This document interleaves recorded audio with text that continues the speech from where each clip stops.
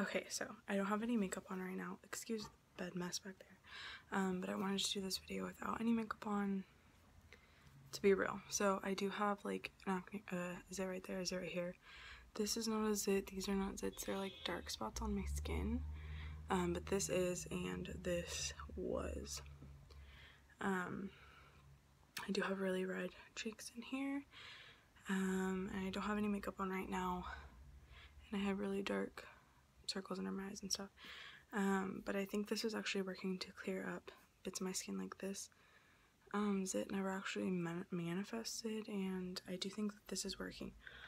Um, from what I showed you already in the, uh, there you go. I think it's working, but I think this is really harsh, and I don't think it's for everyone. Um, I'm going to read off what it says here. So it says, um, Pacifica coconut milk cream to foam face wash and as you saw in in the demonstration it really does come out cream and it really does suds up really easily and becomes foam.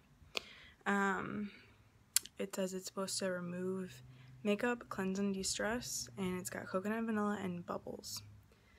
I'm not making this up, it really says it right there. Um, this is for all skin types, especially stressed, and it's sulfate free, it's 100% vegan, and cruelty free. You get 5 ounces. It says superfood for your skin. This creamy milk gets perfectly bubbly to help lift dirt and debris to the surface. This is a go-to in your skin's age-fighting arsenal. Plus, it smells amazing with the aroma power of vanilla. I don't like the smell of it at all. I think it smells terrible. I try to keep it away from my nostrils and like the bottom of my nose area because I don't want to smell it.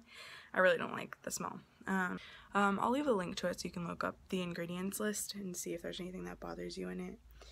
Um, so the most I can say about is it is that I don't like the smell. I don't think it smells like coconuts. I don't think it smells like vanilla. I think it kind of stinks.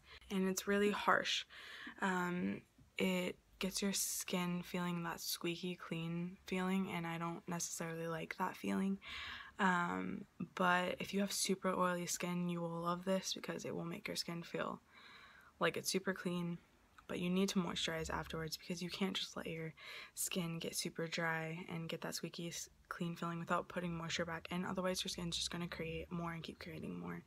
Believe me i know. I used to never moisturize because i was convinced that moisturizing and putting oils on my face or putting cream moisturizers on my face was just going to make it worse and more oily but it actually really helps combat it. So if you have dry skin do not use this do not use this at all. It's gonna make you feel so squeaky that you're gonna want to like rip the skin off of your face.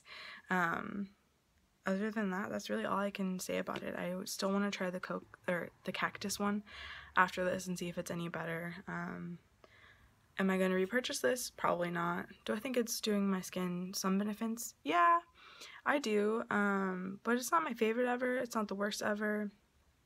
So if you guys have any reviews on the cactus one, um, please leave me a link to it and I will watch it. Um, and yeah, that is my full review. So thanks for watching. Bye.